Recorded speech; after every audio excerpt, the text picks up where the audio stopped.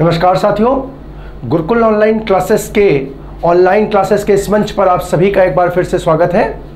आ, मैं पवन सिंह आप सभी का एक बार फिर से हार्दिक अभिनंदन करता हूँ। साथियों आगामी पुलिस भर्ती परीक्षा को ध्यान में रख करके हमारे संस्थान की ओर से चलाई जा रही एक विशेष मुहिम वादा वर्दी के तहत हम विगत कुछ दिनों से आपके सम्मुख हिंदी के कुछ महत्वपूर्ण प्रश्नों के साथ उपस्थित होते रहे। आज उसी कड़ी में एक विशेष अंक के साथ हम आप सबके सामने उपस्थित हुए हैं और आज के अंक का शीर्षक है पर्यायवाची। तो साथियों जैसा कि देखा गया है कि वोकैब में वोकैब में क्या कहते हैं पर्यायवाची, विलोम और जो वाक्यांश होते हैं, अनेक शब्दों के लिए एक शब्द इनसे संबंधित प्रश्न परीक्षा में लगातार और अच्छी संख्या में पूछे जाते हैं। तो इसी को ध्यान में रखते हुए हमने ये निश्चित किया था कि अपने पाँच दिनों में एक दिन हम वोकैब के टॉपिक्स को लेकर के आपके सामने उपस्थित होंगे।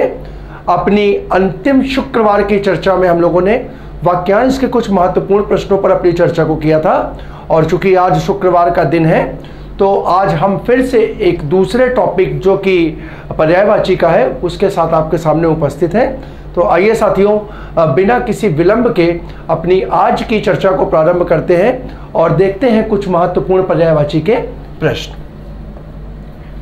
तो हमारा साथियों, आज का पहला प्रश्न है। हमारा पहला प्रश्न कह रहा है कि तरणी, ठीक है, इसका पर्यायवाची क्या होगा? तो विकल्प देखते हैं। इसका विकल्प है ए सूर्य, बी नाव, सी युवती और डी नदी। तो साथियों, ध्यान रखिएगा, यहाँ पर तरणी का जो शुद्ध शब्द होगा या पर्यायवाची होगा, वो होगा विकल्प ए सूर्य। सूर्य जो है वो तरणी का पर्यायवाची हो जाएगा। अब यहाँ पर देखने लायक प्रश्न साथियों क्या है? यहाँ पर नाव भी दिया हुआ है। यहाँ पर नाव भी दिया हुआ है। और साथियों, जब आप शब्द युग्म पढ़ते हो शब्द युग्म पढ़ते हो तो वहाँ पर इस प्रकार से, इस प्रकार से शब्द युग्म में दो पदों को देखते हो। एक होता है तरणी और एक होता है तरणी, ठीक है? तो यहाँ पर ध्यान रखेगा ये दोनों कैसे हैं? ये शब्द युग्म के प्रयुक्त, शब्द शब्द युग्म के रूप में प्रयुक्त होने वाले पद हैं। जब, जबकि इसका अर्थ अगर देखें तो यहाँ पर ये तरणी का अर्थ साथियों सूर्य होता है, तरणी का अर्थ साथियों सूर्य होता है, और जब ये बड़ी ई की मात्रा इसमें लग जाती है और तरणी ये बन जाता है। तो साथियों, इसको हम लोग बोलते हैं, इसको हम लोग बोलते हैं नाव। इसको हम किस नाम से जानते हैं? नाव के नाम से जानते हैं। तो देखिए, यहाँ पर अगर छोटी की जगह अगर बड़ी ही होता तो साथियों, इस प्रश्न का आंसर विकल्प बी हो जाता, बी हो जाता। लेकिन ठीक है, यहाँ पर पद क्या है? तरणी है तरणी है। इस कारण इसका आंसर होगा विकल्प ए। ठीक है, इसी प्रकार साथियों, ध्यान रखिएगा, विकल्प सी जो युवती दिया हुआ है युवती का एक पर्यायवाची भी इसी प्रकार से होता है, जिसको हम लोग बोलते हैं, जिसको हम लोग बोलते हैं तरुणी। क्या बोलते हैं? तरुणी।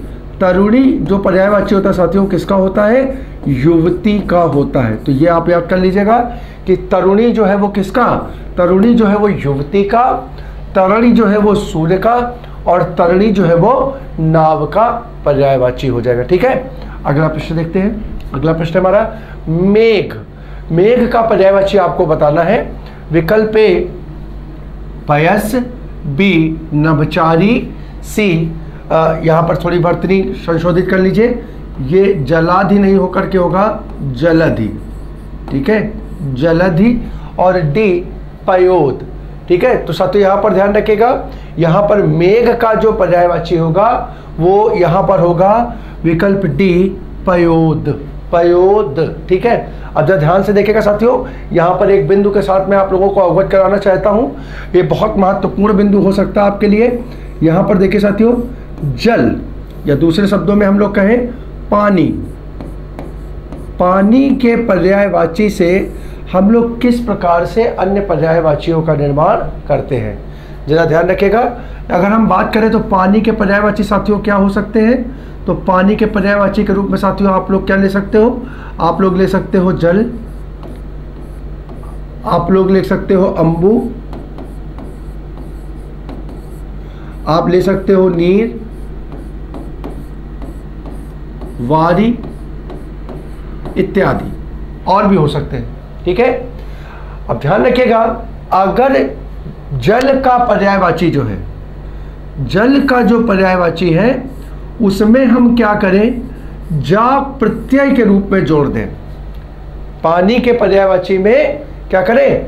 जा प्रत्यय के रूप में जोड़ दें। तो साथियों, देखिए क्या बनेगा? ये शब्द बन जाएगा जलज। जलज इसी प्रकार से बन जाएगा अंबुज। इसी प्रकार से बन जाएगा नीरज।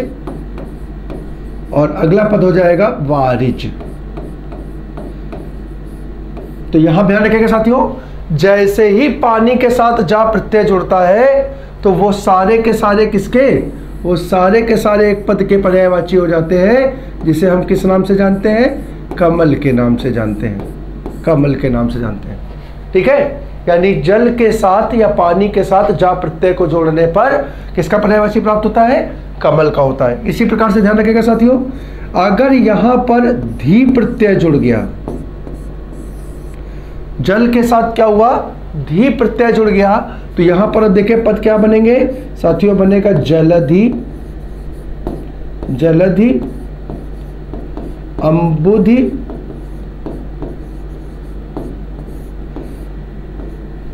वारिधि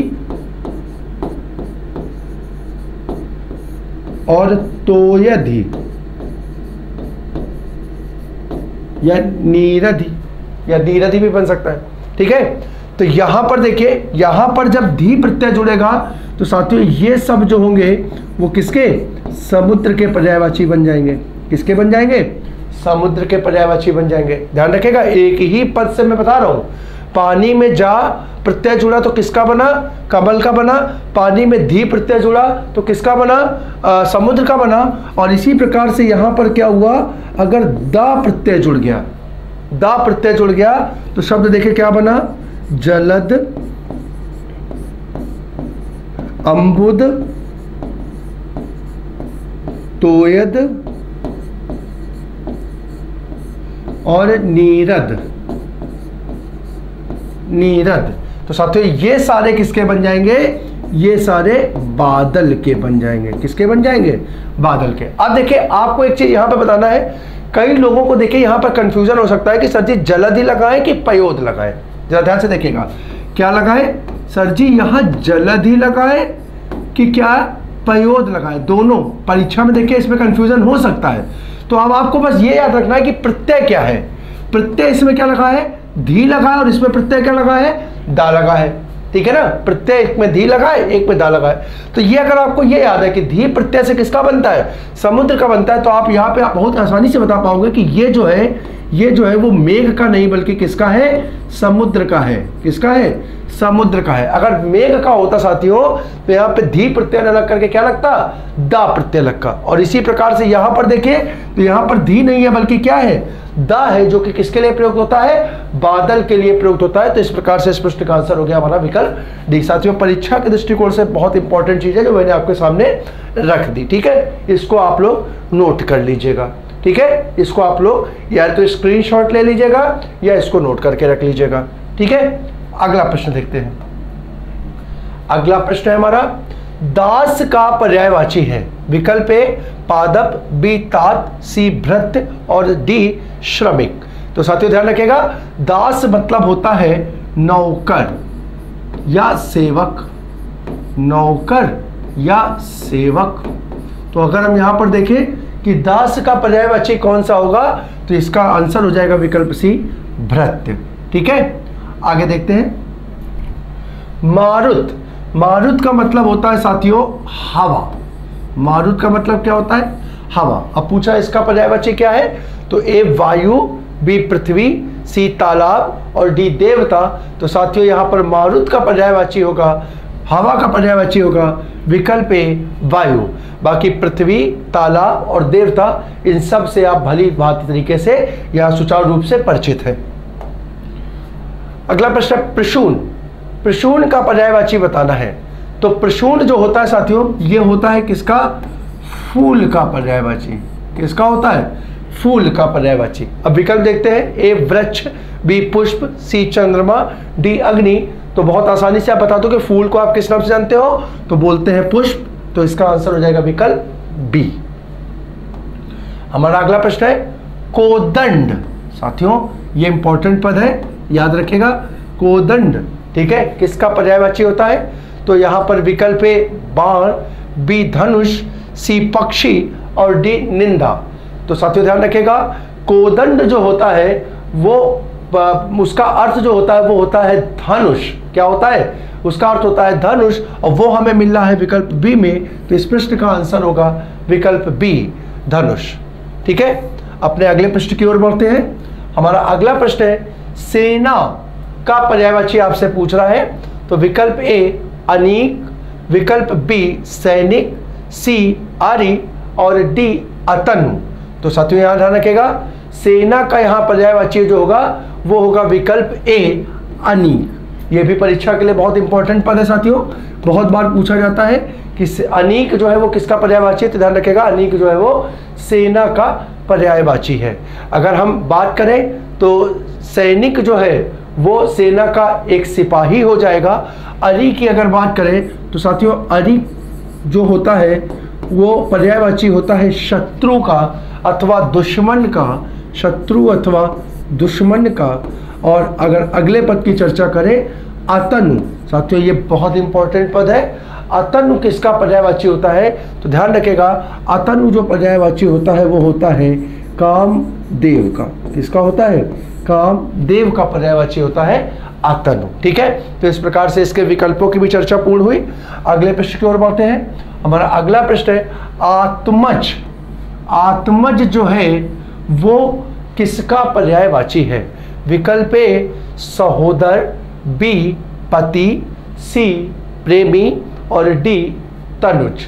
तो साथियों, ध्यान रखेगा आत्मज शब्द जो होता है, इसका पर्यायवाची होता है बेटा। क्या होता है? बेटा। ठीक है? अब यहाँ पर देखिए, अगर हम देखें तो बेटा का पर्यायवाची यहाँ पर अगर निकाले तो वो बनेगा विकल्प डी तनुज। क्या बनेगा? तनुज बनेगा, ठीक है? तो यहाँ पर देखिए, यहाँ पर विकल्प डी तनुज हो गया, इसका आंसर। अगर बाकी पदों की चर्चा करें तो देखिए यहाँ पर एक दिया हुआ है, सहोदर। सहोदर शब्द को जब आप तोड़ेंगे तो साथियों, ये टूटेगा सहधन सहधन उदर में। सहधन उदर में। और सहोदर की अगर बात करेंगे, सहधन उदर तो इसका मतलब क्या होगा? साथियों, इसका मतलब होगा कि एक ही गर्भ से, एक ही गर्भ से उत्पन्न होने वाली संतान, एक ही गर्भ से उत्पन्न होने वाली संतान, से उत्पन्न होने वाली संतान। ठीक है?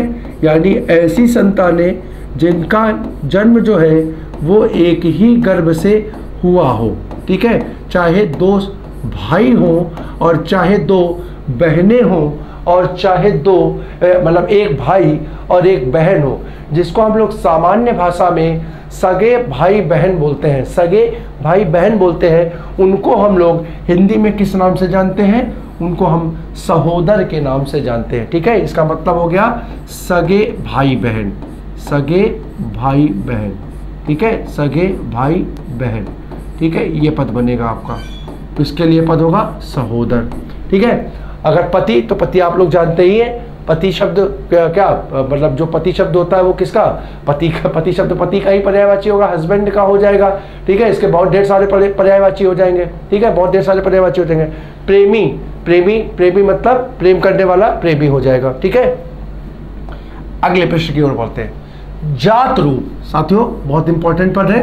जात रूप निम्न में से किसका पर्यायवाची है? विकल्प एक किरण, बी, चांदी, सी, स्वर्ण और डी, ललित। तो साथियों, ध्यान रखेगा जात रूप जो है, वो होता है सोने का पर्यायवाची। सोना का पर्यायवाची होता है जात रूप। और अगर सोना की बात करें तो सोना यहाँ मिल रहा है विकल्प सी में, यानी इसका आंसर होगा स्वर्ण। ठीक है? अपने अगले प्रश्न की ओर बढ़ते हैं। अगला प्रश्न हमारा दर्प। ठीक है? दर्प की अगर बात करें तो दर्प का पर्यायवाची निम्न में से क्या है? विकल्प तिरस्कार, बी, अहंकार, ठीक है? सी, गर्व और डी, स्वाभिमान। तो साथियों, ध्यान रखेगा दर्प का मतलब होता है, दर्प का मतलब होता है घमंड। और घमंड की अगर चर्चा करें तो साथियों, यहाँ पर घमंड दिया हुआ है विकल्प बी में, यानी इसका अर्थ होगा अहंकार। इस प्रकार से इस प्रश्न का आंसर होगा विकल्प बी।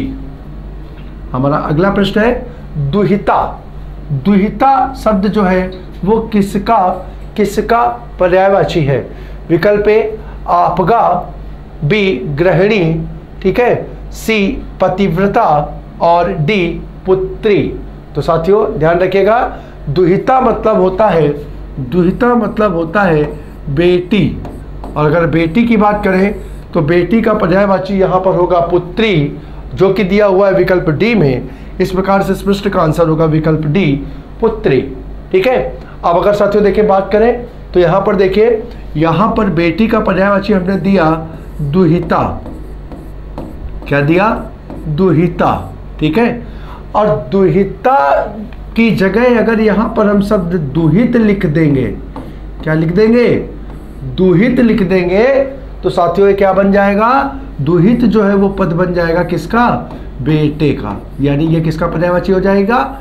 बेटा का पर्यायवाची हो जाएगा। किसका हो जाएगा? बेटा का हो जाएगा। अब साथियों जरा ध्यान रखेगा यहाँ पर जैसे ये दुहिता किसका? बेटी का पर्यायवाची है।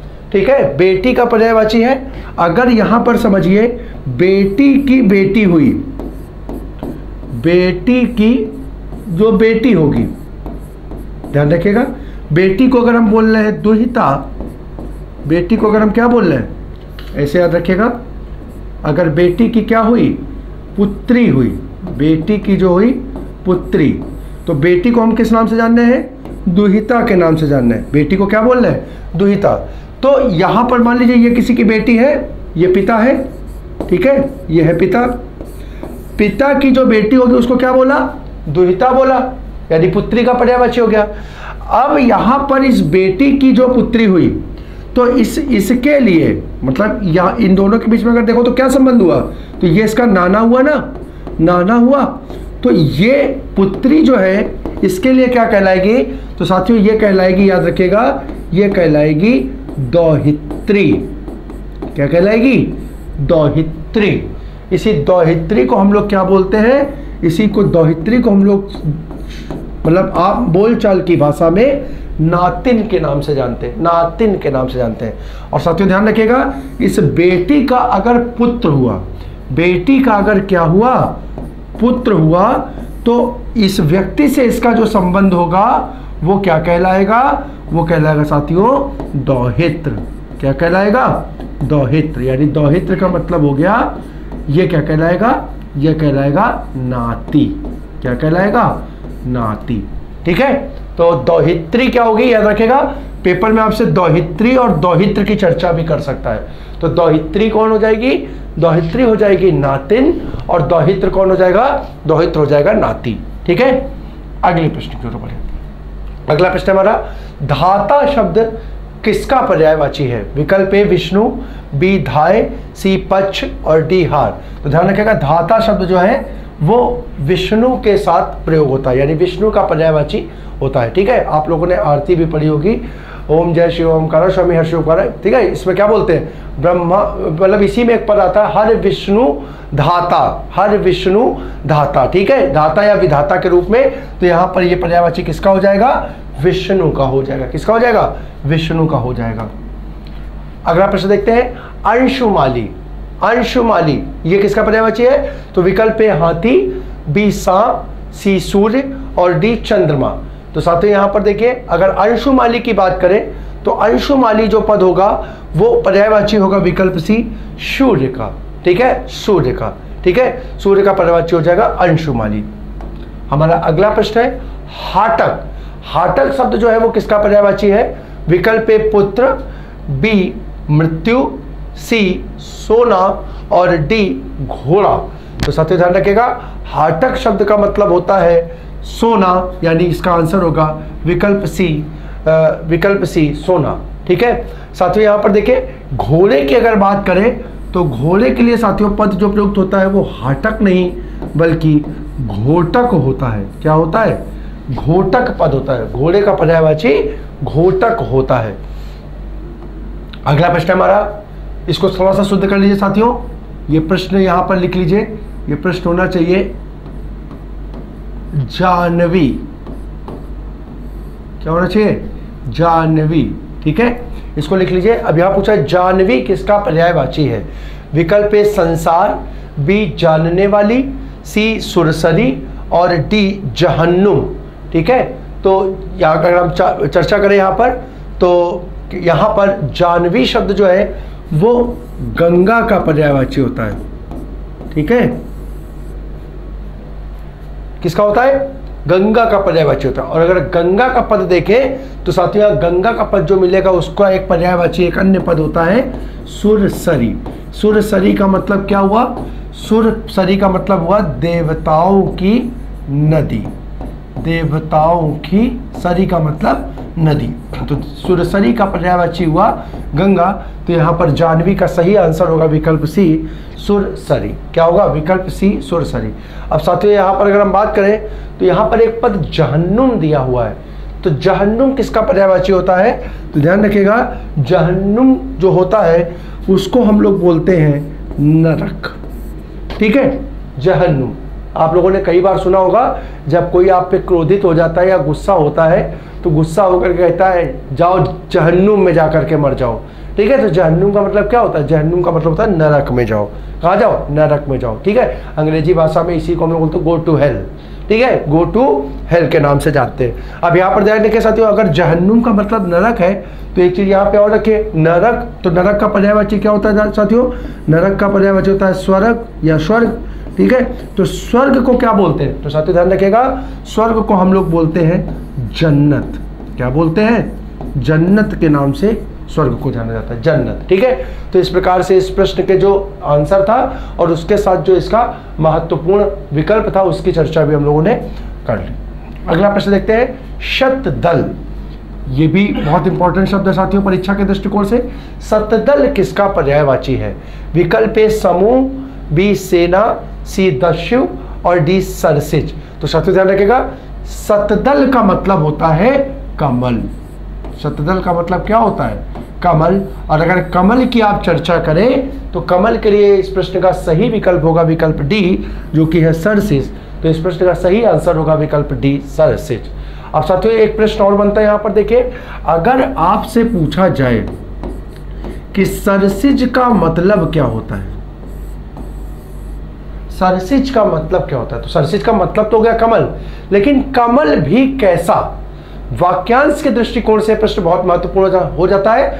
हालाँकि मैं अपने अंतिम अंक में वाक्यांश को लेकर के आपसे सामने उपस्थित हुआ था, लेकिन अब इस प्रकार से देखिए कि सरसिज, जैसे कमल को जलज भी बोलते हैं, कमल को सरसिज भी बोलते हैं, कमल को पुंडरीक भी बोलते हैं, कमल को कोकनद भी बोलते हैं, ठीक है? इसी प्रकार से कमल को नील कमल भी बोलते हैं। ठीक है? इस प्रकार से कमल के कई नाम होते हैं ठीक है? कई नाम होते हैं। तो अगर हम बोले कि कमल जो है ये सरसिज के, के लिए किस पद के लिए प्रयुक्त होता है? तो यहाँ पर देखिए सरसिज के लिए जो वाक्य बनता है वो क्या बनता है? तो वो बनता है तालाब अथवा सरोवर। तालाब अथवा सरोवर में सरोवर में खिलने वाला कमल। खिलने वाला कमल। तालाब अथवा सरोवर में जो खिलने वाला कमल होता है, साथियों, अगर उसके लिए एक शब्द का प्रयोग करेंगे तो वो एक शब्द आपका कौन सा हो जाएगा? वो हो जाएगा सरसेज। कभी भी वाक्यांश में आपसे पूछ दिया जाए कि तालाब में खिलने वाला कमल क्या कहलाता है, और विकल्प देख लीजिए, इस प्रकार से दिया हो आपके सामने जलज सरसिज ठीक है? एक दे दिया हो पुंडरीक। और दूसरा दे दिया हो शतदल। शतदल। तो अब यहाँ पर देखिए, चार विकल्प बने ये चारों ही किसके पर्यायवाची है? चारों ही कमल के पर्यायवाची है। लेकिन यहाँ पर विशेष पूछा क्या गया है? सरोवर अथवा तालाब में खिलने वाला कमल तो उसके लिए सही पद क्या होगा? विकल्प बी हो जाएगा सरसी जिसका आंसर हो जाएगा। ठीक है? पक्का? तो अगले प्रश्न की ओर पढ़ते हैं। हमारा अगला प्रश्न देखते हैं। कैवल्य, साथियों, ये भी बहुत इंपॉर्टेंट पद है। कैवल्य किसका पर्यायवाची है? विकल्प दंड, बी, प्रीति, सी, केशव और डी, निर्वाण। तो आप लोगों ने शब्द कई बार सुना होगा। कैवल्य का मतलब होता है शक्तियों ज्ञान अथवा मोक्ष। ज्ञान अथवा मोक्ष की प्राप्ति कर लेना। ठीक है? ज्ञान अथवा मोक्ष की प्राप्ति कर लेना। ठीक? तो अगर देखें तो ज्ञान अथवा मोक्ष की अवस्था जो होती है, उसको हम किस नाम से जानते हैं? उसको हम निर्वाण के नाम से जानते हैं, जो कि यहाँ का दी है, वो विकल्प डी में दी है तो इस प्रश्न का आंसर हो जाएगा विकल्प डी, निर्वाण। ठीक है? अगला प्रश्न देखिए। मृगांक। किसका पर्यायवाची है? विकल्प ए, लोचन, बी, मृग सी सुधाकर और डी कलोल। साथियों, अगर इस पद को थोड़ा सा सुधार लें तो यहाँ पर देखिए, कलोल शब्द ना होकर के इस शब्द को सही कर लीजिए, ये कल्लोल हो जाएगा। क्या हो जाएगा? कल्लोल हो जाएगा। ठीक है? अब हम लोग देखते हैं। तो मृगांक का मतलब साथियों, क्या होता है? तो ध्यान रखिएगा, मृगांक का मतलब होता है चंद्रमा। मृगांक का मतलब क्या होता है? चंद्रमा। ठीक है? और अगर चंद्रमा की हम लोग चर्चा करें तो यहाँ पर चंद्रमा का पर्यायवाची जो मिला है, वो कहाँ मिला है? वो साथियों मिला है विकल्प सी, सुधाकर में। ठीक है? सुधाकर का मतलब क्या होता है? साथियों देखिए, सुधाकर का मतलब होता है सुधा प्लस कर। सुधा जो होता है, वो किसका पर्यायवाची होता है? वो अमृत का होता है और कर का मतलब होता है प्रकार से स्वामी। ठीक है? तो जो अमृत का स्वामी है या जो अमृत को धारण करता है, उसके लिए हम सुधाकर पद का प्रयोग करते हैं। किसका प्रयोग करते हैं? सुधाकर प्रयोग का पद करते हैं पद का प्रयोग करते हैं। और वो पद होता है, साथियों, हमारा क्या होता है? वो कहलाता है चंद्रमा। तो मृगांक का सही आंसर हो जाएगा विकल्प सी, सुधाकर। ठीक है? अब यहाँ पर मृग का मतलब क्या होगा, साथियों? तो मृग का अर्थ होगा हिरण। लोचन आप सभी जानते हैं। लोचन का मतलब होता है आँख। लोचन का मतलब होता है आँख और एक इंपॉर्टेंट पर साथी यहाँ पर जो आया, कल्लोल। तो कल्लोल का मतलब होता है साथियों, कल्लोल का मतलब होता है लहर अथवा धारा। लहर अथवा धारा। ठीक है? ये ध्यान रखिएगा। ये बहुत इंपॉर्टेंट पद है, कल्लोल। कल्लोल का अर्थ हो गया लहर अथवा धारा। अगले प्रश्न की ओर हम लोग चले। तो ये बहुत महत्वपूर्ण प्रश्न है। कई बार परीक्षा में पूछा गया है, वैशाख नंदन। का पर्यायवाची क्या है? विकल्प एक गणेश, बी कौआ सी, सुग्रीव और डी, गधा। तो साथियों, ध्यान रखिएगा, वैशाख नंदन जो होता है, वो डी, गधे का पर्यायवाची होता है। ठीक है? वैशाख नंदन हम गधे को बोलते हैं, गधे को बोलते हैं। अब इंपॉर्टेंट क्या है साथियों? परीक्षा में कई बार गधे के पर्यायवाची पूछे गए कि गधा का पर्यायवाची क्या क्या होता है। तो ध्यान रखिएगा, गधे के कुछ पर्याय पर्यायवाची आप लोग रट करके जाएँगे। रट करके जाएँगे। परीक्षा की पुस्तकों आपके पास जो भी किताब होगी, उस किताब में गधे के पर्यायवाची आपको दिए होंगे। उसमें से तीन, चार, पाँच आप उनके जो पर्यायवाची है, उसको निकाल करके याद कर लीजिएगा। परीक्षा के दृष्टिकोण से ये बहुत महत्वपूर्ण है। अगले प्रश्न की अगर हम चर्चा करें तो अगला प्रश्न हमारा अंबक। अंबक किसका पर्यायवाची है? तो विकल्प लोचन, बी, चुंबक सी आम और डी अनुचर। तो अगर हम यहाँ पर देखें तो साथियों अंबक जो होगा, वो आँख का पर्यायवाची होगा। किसका होगा? आँख का पर्यायवाची होगा।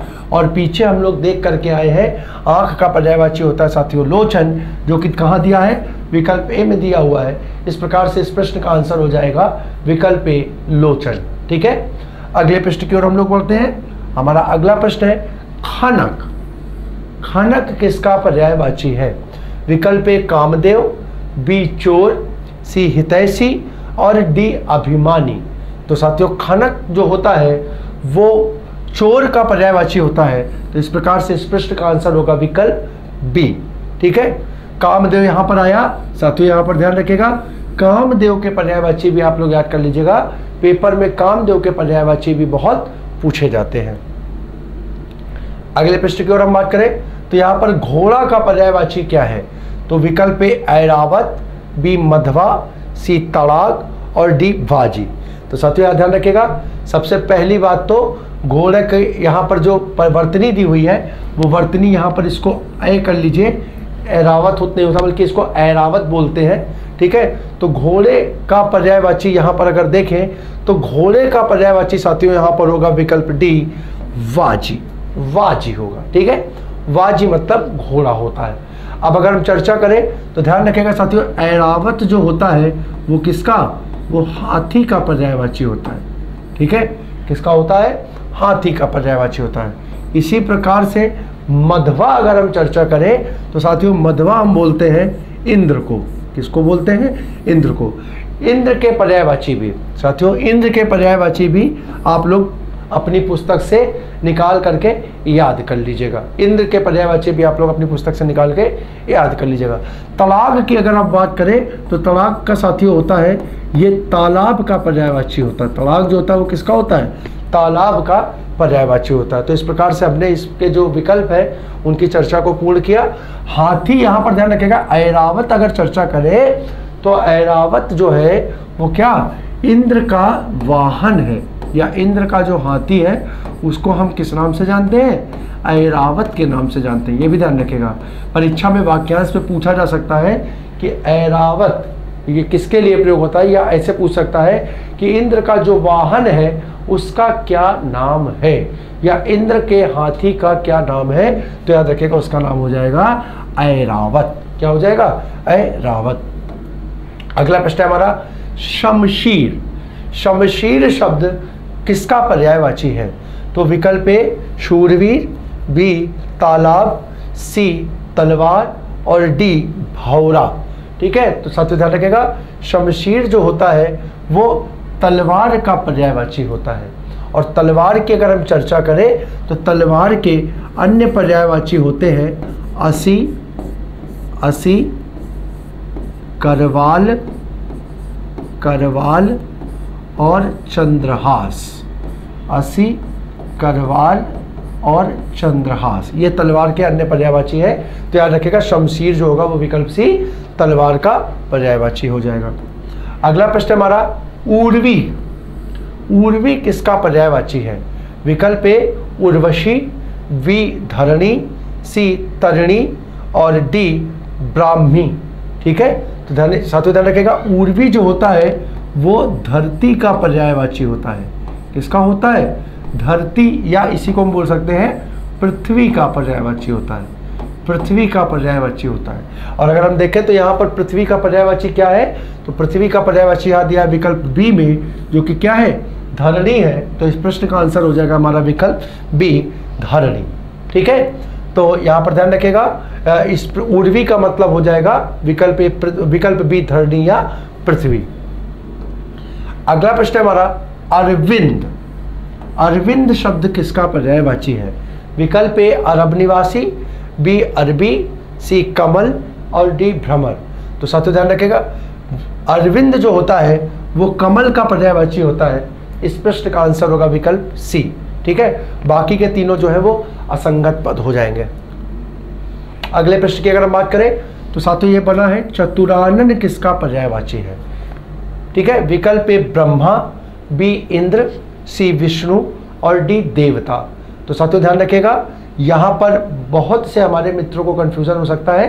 ये प्रश्न जब भी परीक्षा में आए तो आप थोड़ा सा समय लेकर के सोच के आंसर लगाएँ। क्योंकि इस प्रश्न को पढ़ते ही जल्दबाजी में बच्चा क्या होता है आंसर इसका विष्णु मार्क कर देता है।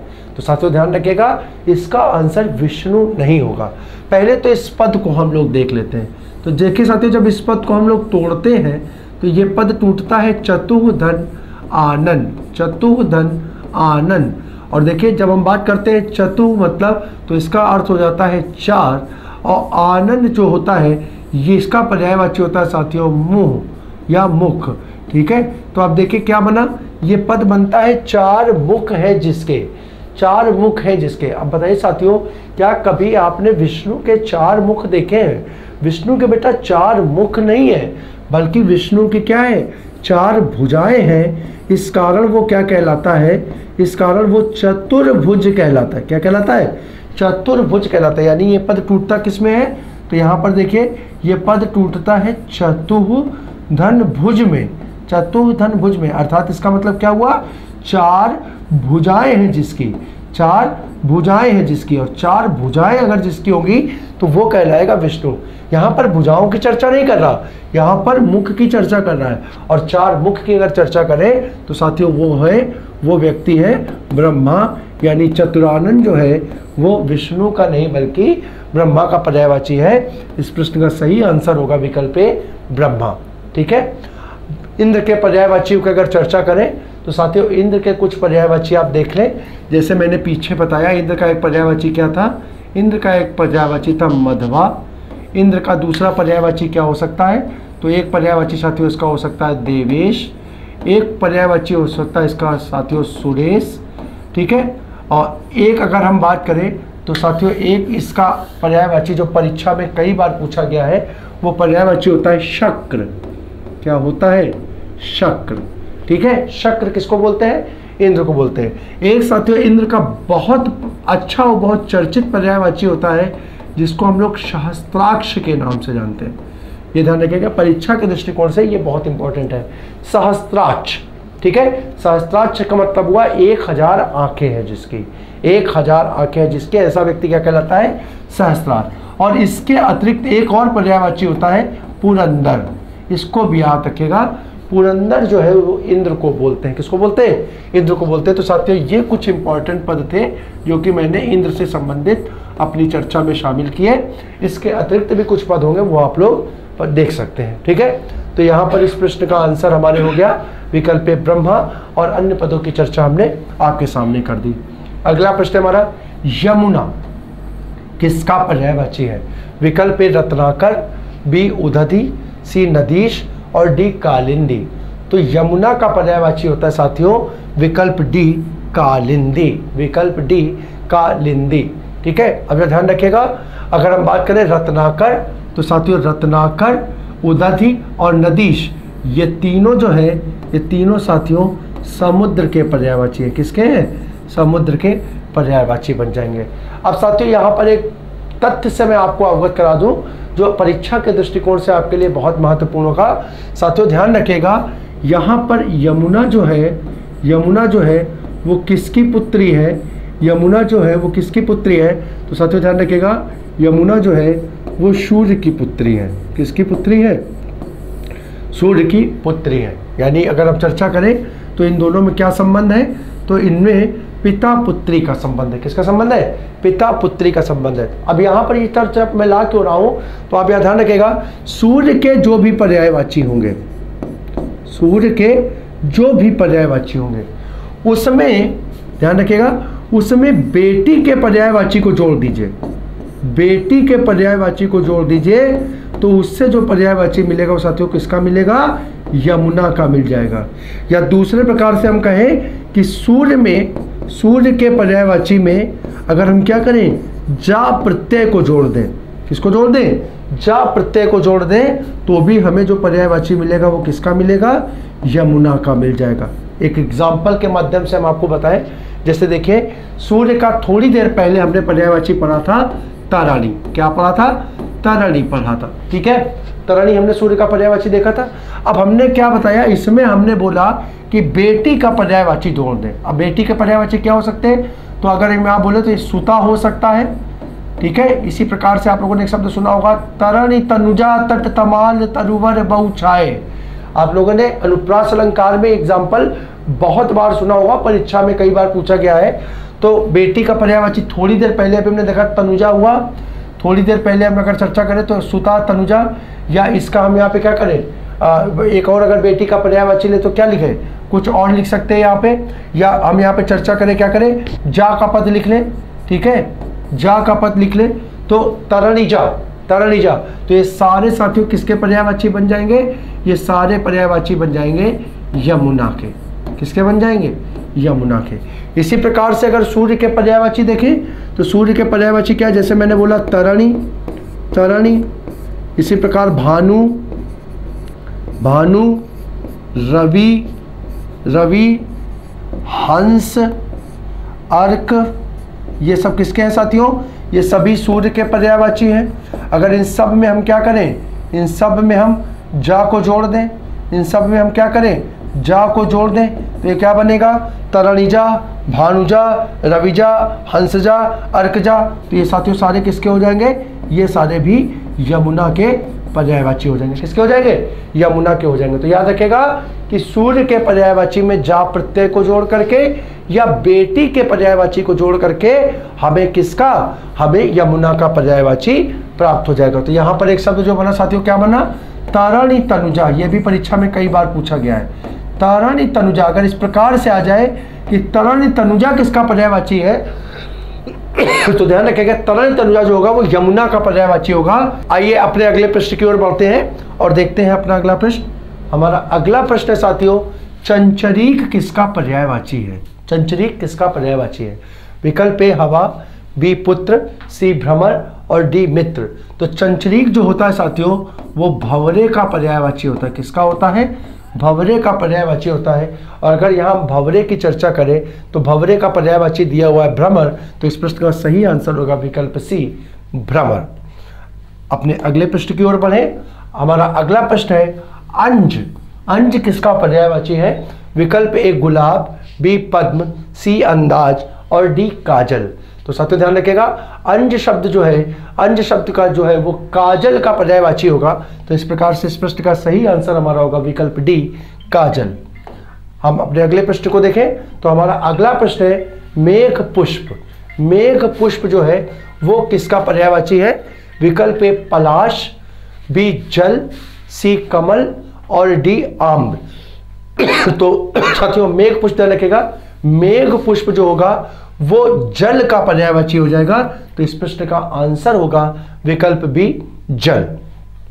तो इस प्रकार से साथियों, आज का जो हमारा विशेषांक था पर्यायवाची से संबंधित, उसकी चर्चा जो है, वो आज हमने यहाँ पर पूर्ण की।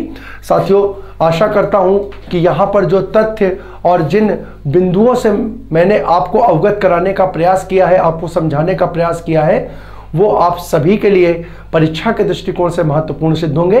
अपनी चर्चा को और संवाद के कार्यक्रम को हम इसी प्रकार से जारी रखेंगे। अपनी आज की चर्चा को यहीं पर विराम देते हैं। आप सभी को जय हिंद।